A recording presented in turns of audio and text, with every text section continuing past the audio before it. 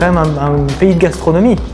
On, a, on intègre dans notre cuisine une production euh, qui part de produits bruts, qui est transformée sur place, mijotée, assaisonnée euh, et qui est servie directement au client. Donc il y a l'étape de A à Z en quelque sorte.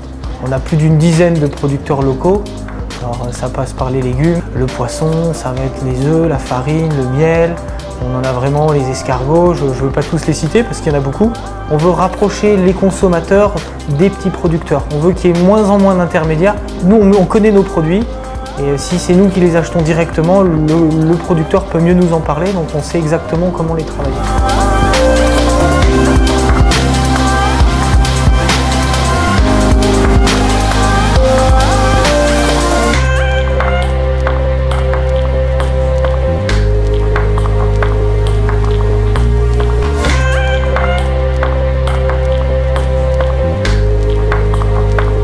Produits de saison sont de plus en plus mis en avant. On a, une société qui marche un peu sur la tête maintenant et pense de revenir le basique sur le bien manger. Ça me paraît évident, de- de- de- surtout quand on a la possibilité de le faire. Tout est traçable et c'est pour ça que Maître Restaurateur est un agrément d'État parce qu'il y a vraiment une, grosse traçabilité sur nos, factures tout simplement. On ne peut pas tricher. Quand le, le contrôle est fait, ça va, euh, ça va des chambres froides jusqu'au bureau à la compta dans les factures. Euh, de justifier comment on fait cette petite feuille de briques euh, aux chèvres frais.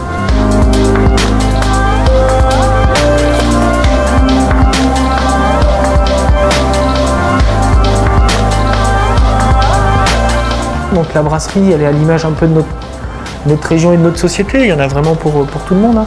On peut faire du végétarien, on peut faire euh, euh, de la viande, du poulet. euh, on a quand même de plus en plus de gens qui nous disent qu'ils sentent la différence.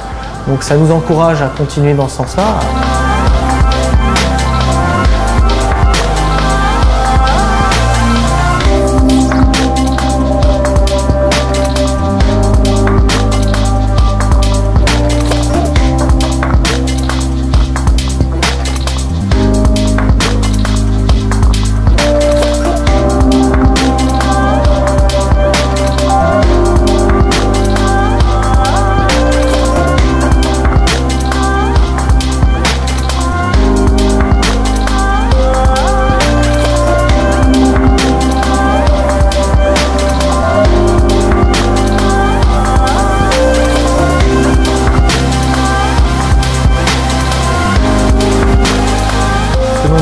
Toute on ne ferme pas pendant les vacances, on, on- on est toujours ouvert les jours fériés. Il n'y a que le dimanche où on respecte cette pause dominicale, je dirais, importante pour nos équipes. Faites vivre votre région, mangez local et maison.